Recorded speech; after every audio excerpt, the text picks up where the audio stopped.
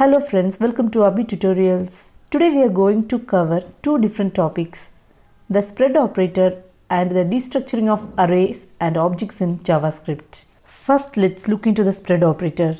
The spread operator is denoted by three dots as in the screen. The spread operator is similar to the rest operator we have seen in our previous video, for which I have given the video link in the description. The spread operator is also introduced in ES6 version of JavaScript. The purpose of the spread operator is to place or unpack or copy the content of array or object into another array or object respectively.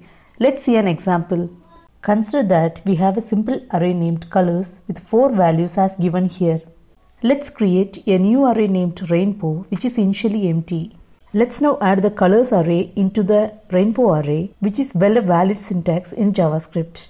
In addition to it, we will add some additional color values to it as comma separated values which is also a valid syntax.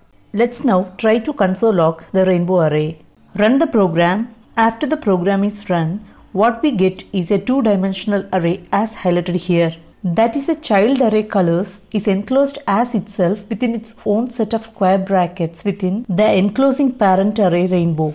If we try to access any element of the array using its index number, say first element of the array by using the index number 0, we will get the full child array as the first element as highlighted here. If we need to access the color violet of the rainbow array, then we have to access it like how we access an two-dimensional array as highlighted in the screen. This method will get us the required value as here.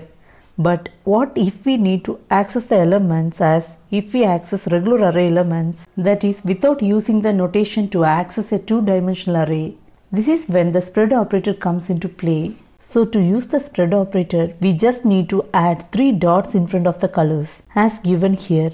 This will ensure that the child array elements will be treated as part of the parent array and will not be treated as a separate array.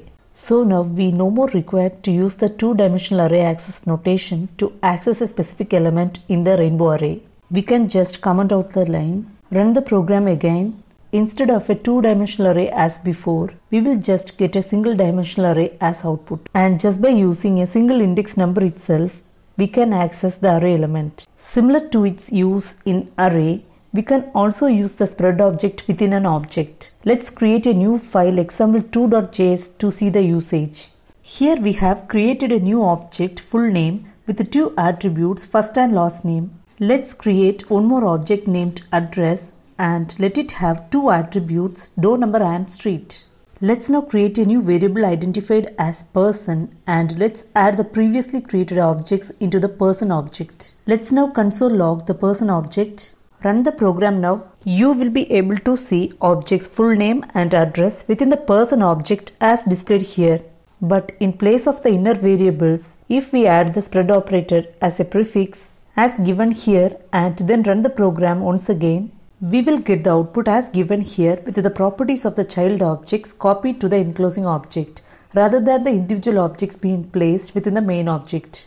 Using the spread operator, the attributes will be added as direct children instead of being added as properties of sub-objects. Let's now look into destructuring. Destructuring is nothing but extracting values or properties from arrays and objects and assigning them to variables. Destructuring is a process which you can perform on arrays and objects.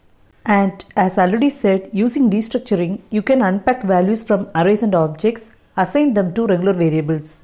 First, we will see how to destructure arrays and then we will proceed with how to destructure objects. Let's see an example.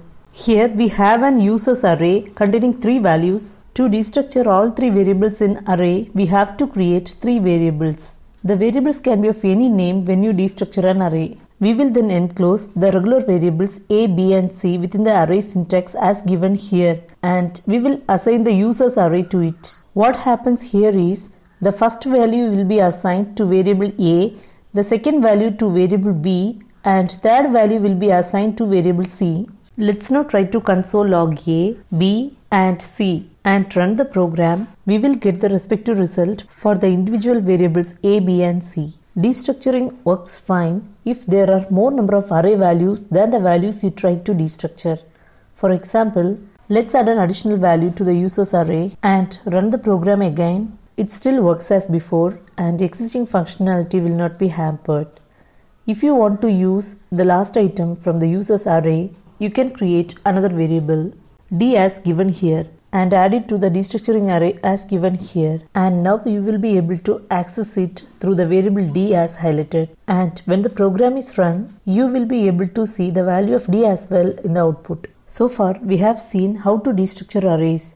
Now we will see how to destructure objects. Here we have a new object called full name which has two properties the first name and the last name. To destructure object property we have now create variables first name and last name. Unlike array destructuring where we had any name to identify the variables. In case of object destructuring the variable name should be same as the property name of the object to be destructured.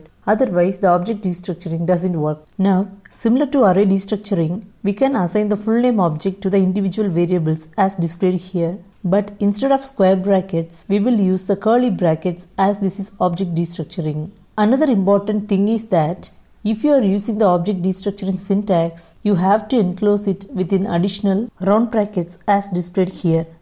Otherwise, you may encounter error while performing object destructuring. Now the object full name is destructured into the variables first and last names. If you do not like the start and end rounded brackets enclosing the object destructuring, there is one more syntax you can use for object destructuring. Let's comment out the current syntax.